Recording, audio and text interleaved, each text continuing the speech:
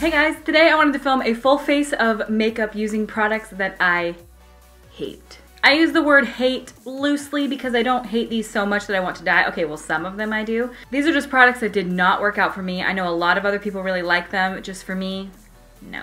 Actually, a lot of these might surprise you. I'm gonna try to do my best. I'm just gonna warn you though that some of these products, no matter how hard I work, look like a bag of dicks. I've given almost all of these more than one try. There are some of these that I tried and immediately was like, never again. So I'm gonna go through my entire face. I'm gonna talk to you about why I didn't like each product and I put it on my face the best I can and try to make the best looking face that I possibly can. So I'm gonna start off with something that may surprise a lot of you because I would say most of you guys love this product. And I like the brand, I just really don't like this product and that is Benefit POREfessional. I, I don't understand the hype around this product. I, I don't get it. There's something about it. Number one, the smell, amazing. I wish every makeup product I could own would smell this way. The product itself is just, it does nothing. I have seen so many people use this and rave about this product and for me, I've done a lot of half-face tests with this POREfessional product. If anything, my prime side looks worse at the end of the day. I'm willing to give it another shot, but I'm going to use a pea-sized amount like I've seen people talk about.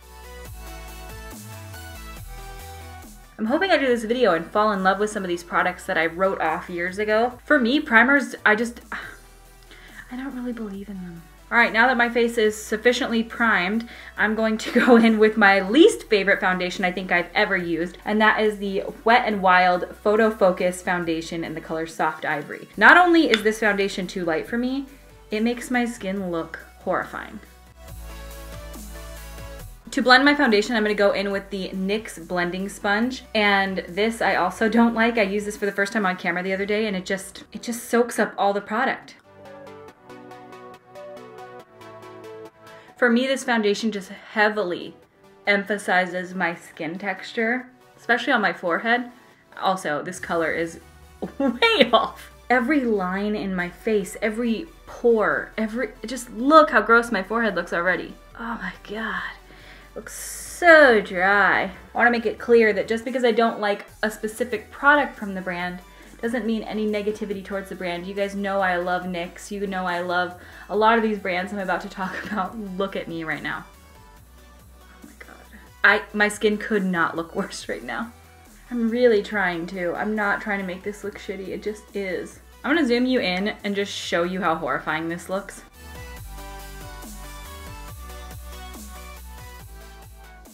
All right, for concealer, I'm gonna go in with the NYX Above and Beyond Full Coverage Concealer, and it's in a little tub like this. It's just, I don't like concealers like this. They're, they're, they just don't look good on me.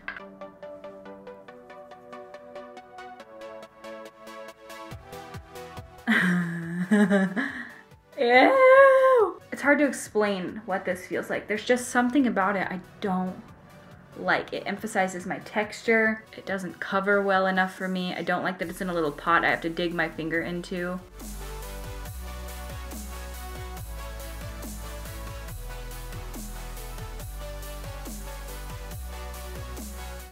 Oh my god.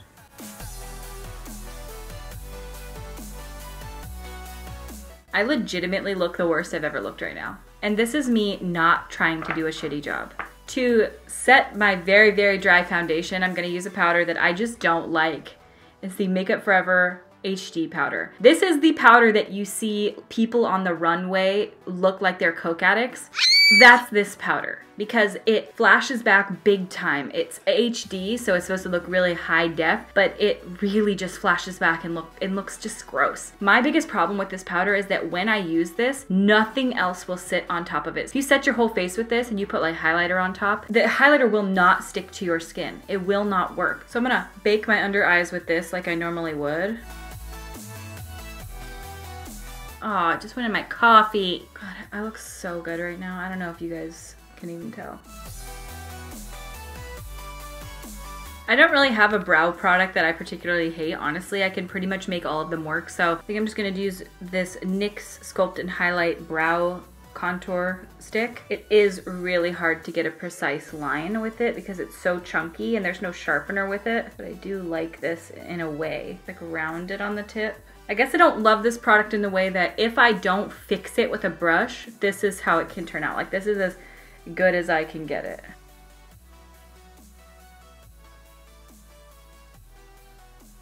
I think it doesn't show a true test of the product if I can like fix it with a brush and clean it up with concealer.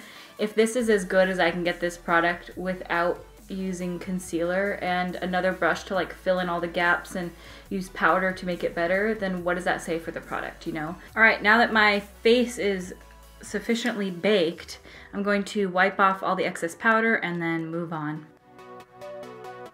Oh, wow. so beautiful. I am trying to wipe it off, okay? This is touching my skin. Okay.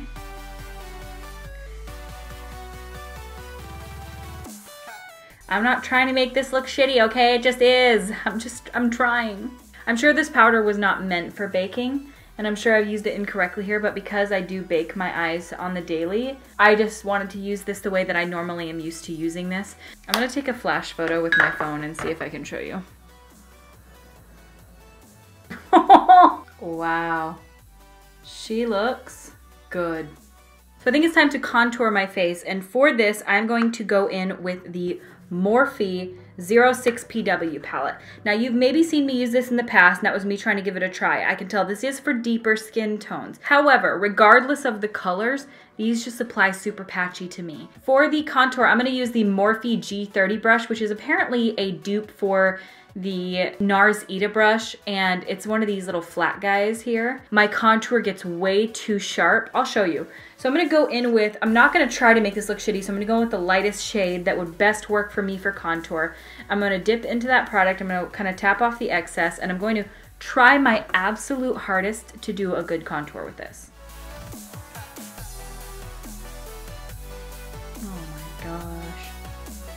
Remember when it was super cool back in the day to use these brushes? Jaclyn Hill talked about the NARS Ita brush and everyone was on that shit. And it was like make a line and then blend up. That's what I'm doing. Oh, okay.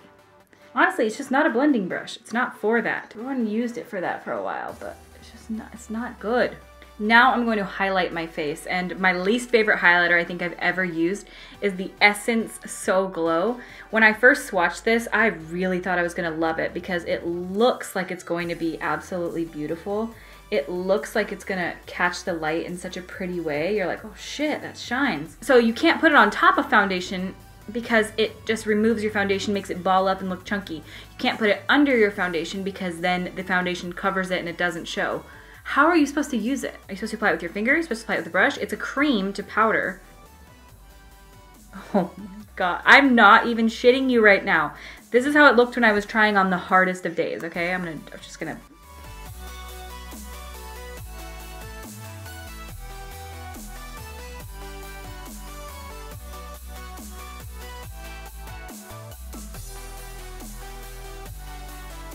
So from far away, it might not look that bad. Up close, oh dear, It's so chunky. I usually like Essence products, but this one really missed the mark for me.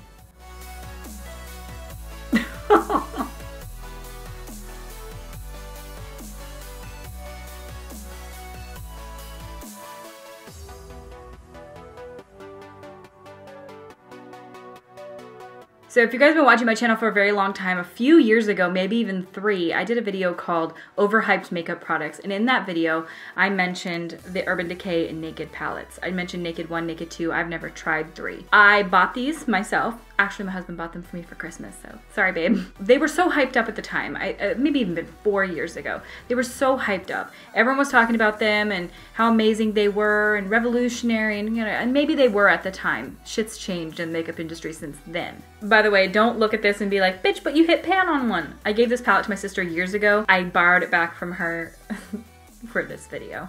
The problem that I have with this palette, number one, for some reason when I use these shades, I just find it to be super patchy. I think that it doesn't blend well. Also, there is 10 shimmer shades and two matte shades. How the fuck are you supposed to do an eye look with 10 shimmers and two mattes. I, there's just, I just don't like it. I don't like it. So I'm gonna go in with Naked and Buck kind of mixed and run them through the crease.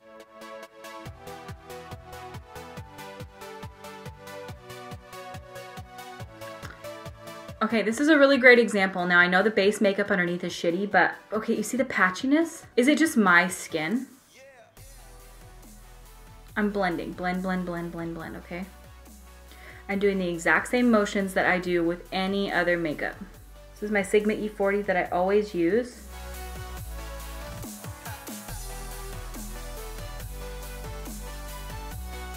I'm not shitting you, that's as much as they'll blend. I'm trying to blend the edges like they won't blend. Now, given that those are the only two matte shades in the palette that I just used, I'm gonna have to go in with some shimmers, I guess. I'm gonna try to go in with a little bit of creep on the outer corner to like do an outer V. It does have sparkles in it though, so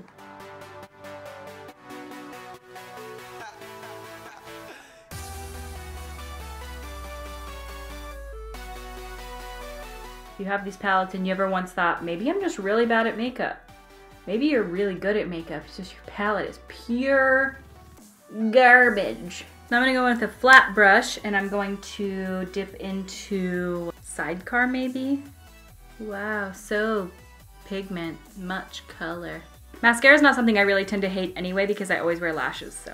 So I'm really not a fan of lashes that don't have any wispiness or fluffiness to them. These lashes are exactly the type of ones that I hate. They're just like straight across, no wispiness at all. These are the NYX lashes in the shade Exaggerated. Shade? In the shade Exaggerated. A shade of lashes, eh? And I'm gonna use a lash glue that I just don't like. There's something about the smell of it. There's something about the the way it feels on my eyes. And it's the Esqido lash glue. They sent this to me and I thought I was really gonna love it because it's in this kind of packaging, which I find to be so convenient. I wish all lash glue came like this. So I'm just gonna put a bit of it on the lash band.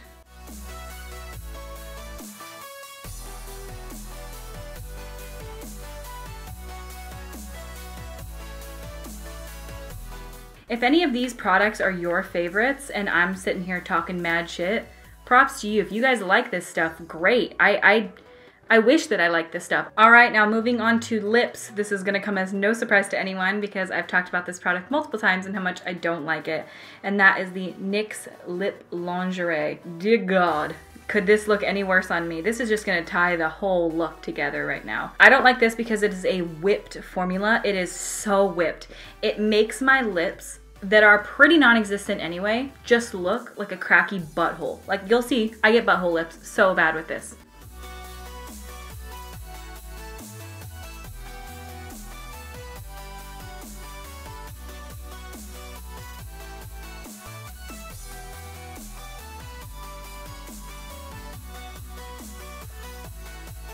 All right, and to finish off this look and set it in place, even though I'm going to remove it in five minutes, I'm going to be using the Ofra Makeup Fixer Light Mist. Now, I love the mist that this gives out. I also like the product.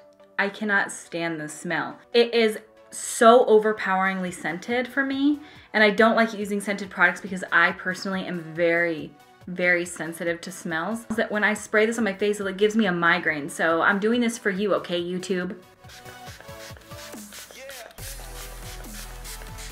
That wasn't as bad as I remember it being. I remember it smelling a lot more perfumey. But back in the day when I used this for the first time, I was like really bad into my headaches, super cluster headachy, and any sort of smell at all, even like somebody passing by me with perfume would send me into an attack. Now I'm a lot better. It's still very strongly scented. It smells good, but it's so intense. I need something that's lightly beautifully scented like MAC Fix Plus. All right guys, that's it for this video. I hope you like it.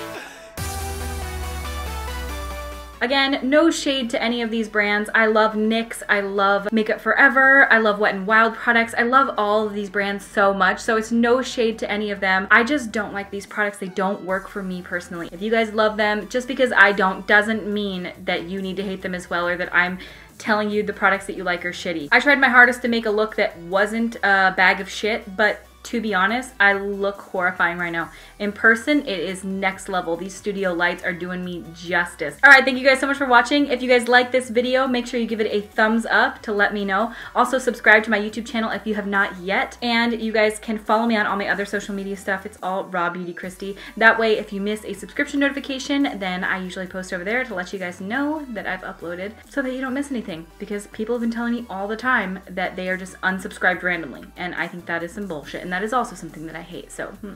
Alright guys, I love you so much. Thank you so much for watching, and I will see you at my next video.